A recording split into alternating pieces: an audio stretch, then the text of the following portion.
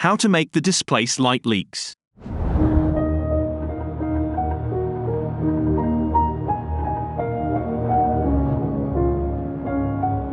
Today's video is sponsored by the Deep State.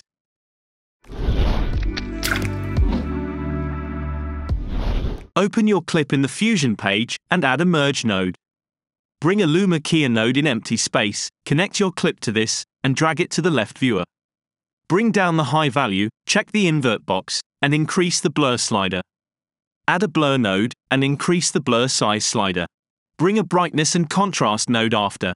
Connect it to the merge node as a foreground, select the merge node, increase the size slider to 5, change the apply mode to screen, and check the flip horizontal and vertical mode. Go back to the brightness node and adjust the sliders until you get your desired light leaks. Select the merge node again and add a polygon mask on it. Draw a rough shape around your frame and increase the soft edge slider. You can keep it as it is, or if you want, you can add a displace node after the merge, change the refraction channel to alpha, connect the brightness node to the green point of the displace, and the mask to the blue point. Play around with the displace sliders until you've got something that is acceptable.